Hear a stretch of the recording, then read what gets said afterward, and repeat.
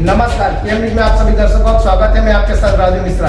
विशेष जानकारी के लिए देखिए हमारी ये रिपोर्ट अनुराग ठाकुर ने कहा, एलपीजी रसोई की गैस जो है उसका दाम कम किया है। ग्यारह सौ रूपए से नौ सौ रूपए कर दिया गया, दो सौ रूपया कम किया गया। उज्ज्वला योजना के जो लाभार्थी हैं उनको नौ सौ पे भी दो सौ रूपया और कम किया गया। जो सब्सिडी के रूप में मिलता है उनको मिलता रहेगा। नौ करोड़ साठ लाख रसोई गैस के सिलेंडर अब तक दिए जा चुके हैं। उज्ज्वला योजना के अंतर्गत पचहत्तर लाख मुफ़्त एलपीजी के कनेक्शन अब और दिए जाएँगे, ताकि गरीब और जरूरतमंद महिलाओं को इसका लाभ मिल सके। ज़्यादातर परिवार लकड़ी कोयला आश्रित रहते हैं, जिसके कारण पर्यावरण भी दूषित होता है और महिलाओं को भी नुकसान होता है। देखिए। रसोई गैस के जो एलपीजी के सिलेंडर के दाम है, उसको कम किया था। ग्यारह सौ रुपये से कम करके नौ सौ रुपये कर दिए दो सौ रुपये कम किए। और जो उज्ज्वला योजना के लाभार्थी हैं, उनको नौ सौ पे भी दो सौ रुपये की और छूट, जो सब्सिडी के रूप में मिलती मिलती रहनी थी।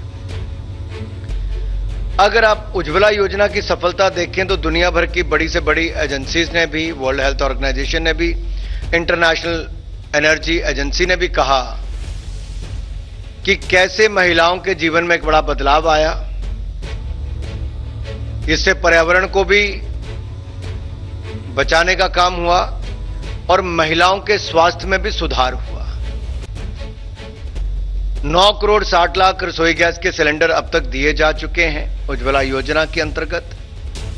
और आज मुझे कहते हुए प्रसन्नता है कि पचहत्तर लाख मुफ़्त एलपीजी के कनेक्शन अब और दिए जाएँगे मांग को देखते हुए, ताकि गरीब और जरूरतमंद महिलाओं को इसका लाभ मिल सके। ये ज़्यादातर परिवार लकड़ी, कोयले, इसके ऊपर आश्रित रहते हैं और जिसके कारण पर्यावरण भी प्रदूषित होता है और महिलाओं के स्वास्थ्य को भी नुकसान होता है। ये डिपॉजिट फ्री जो एलपीजी कनेक्शन उज्ज्वला योजना में दिए गए थे, उसी का ही एक्सटेंशन है। और अगले तीन वर्षों तक 2023 24 24 25 25 26 इनमें पचहत्तर महिलाओं को मिलेंगे। पहला रिफिल और स्टोव भी इसमें निशुल्क दिया जाता है। जिसका खर्चा ऑयल मार्केटिंग कंपनीज़ उठाती हैं। जबकि डिपॉजिट फ्री एलपीजी कनेक्शन के लिए और उसको रिम्बर्समेंट के रूप में हम लोग ऑयल कंपनीज़ को देते हैं। अब हमें दीजिए इजाज़त। हम कई फिर और खबरों के साथ मिलेंगे। हमारे चैनल पर लाइक शेयर सब्सक्राइब करना ना भूलें। नमस्कार